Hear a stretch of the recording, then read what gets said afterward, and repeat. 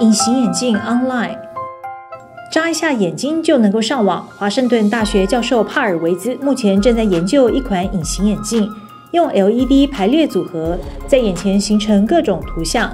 这种眼镜还能够进行人脸辨识，显示对方的生平，最好还能够翻译成另一种语言。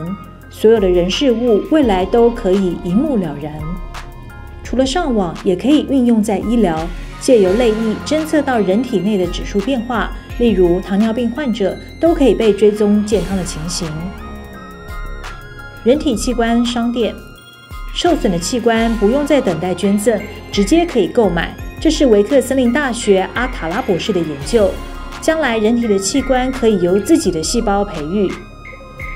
科学家在两千零六年已经培育出了小型的人造肝脏，因此可预见未来人们只要取出受损的器官，就可以植入备用器官了。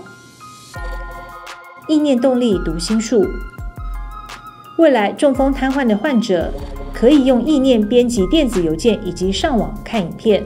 这是伯克莱加州大学凯伊教授的研究计划。他正努力研究，透过检测患者大脑的活动，就能够将影像还原。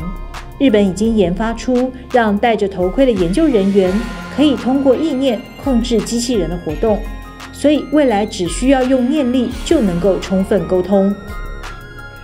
绝种动物大复活。美国先进细胞技术公司兰扎博士。已经能够从死亡二十五年的动物尸体上提取可用的 DNA，经过九个月，复制牛就诞生了。让死亡或绝种的动物复活，或许不是技术性的问题，困难点在于人类有没有权利这么做。